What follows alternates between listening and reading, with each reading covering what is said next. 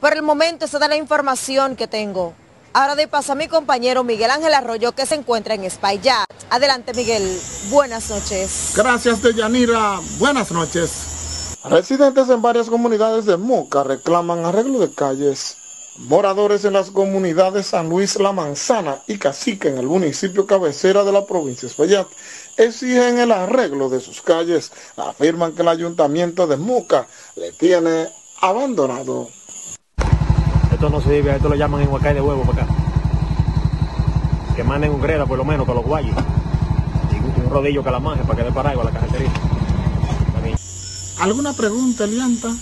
Miguel Ángel, ¿y cuál es la condición de esos caminos cuando llueve?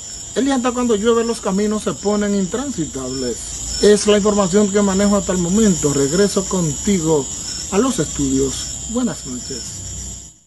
Viva.